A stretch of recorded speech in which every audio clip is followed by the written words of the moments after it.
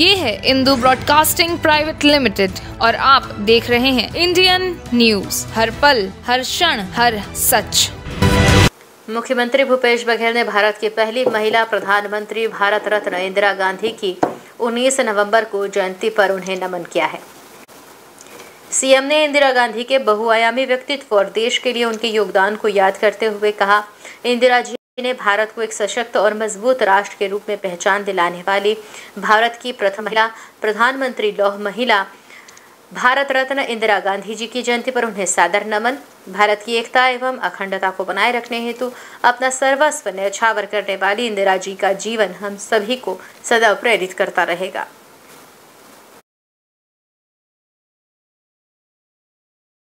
New videos की update पाने के लिए सब्सक्राइब करें इंडियन न्यूज़ को। और बेल आइकन को दबाएँ।